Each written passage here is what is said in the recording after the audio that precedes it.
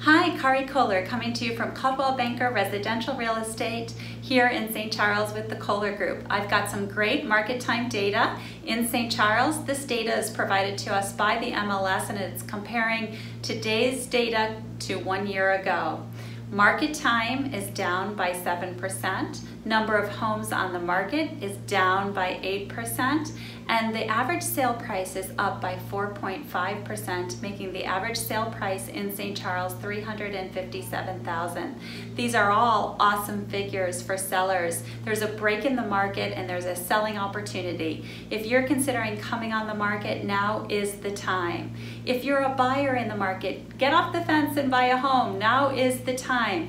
The interest rates are low and fresh inventory will come on the market every day here in the summertime.